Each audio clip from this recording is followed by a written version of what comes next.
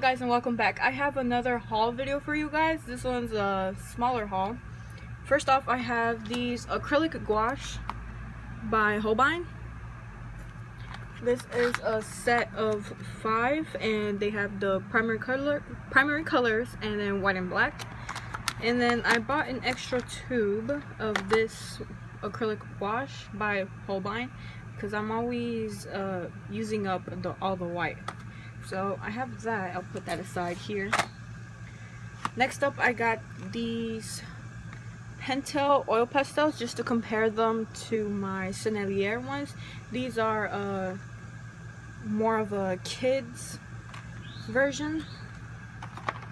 Then I got these Masters Touch um, chalk pastels.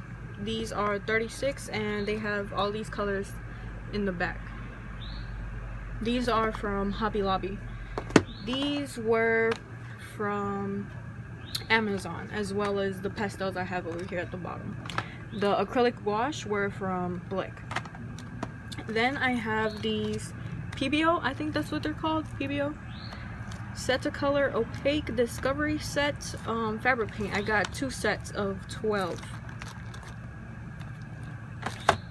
And then I got I put my um, Turner acrylic gouache in this box because I I got these from Amazon and I was missing one of the greens and it just annoyed me that I would look at the box and it, I just saw one missing. But I this is a sort set of 24 and I have all of these. I have already tried these out. I'll upload the video later on this week. And then I got these from Amazon as well. These are the Gallery Moon Gaio oil pastels. These are artist um, soft pastels and this is what they look like. So these are much better than the Pentel ones. So I will do a comparison with the Pentel, the Gallery ones, and the Sennelier ones.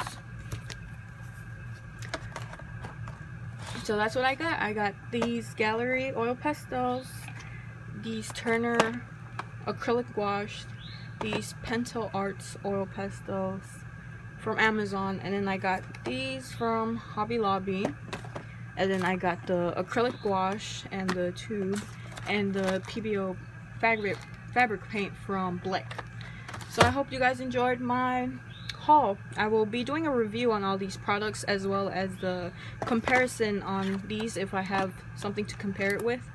So make sure you guys look out for that. And I hope you guys enjoyed. Please leave a like and comment down below if you guys want me to test these out in a specific way or have any ideas of videos.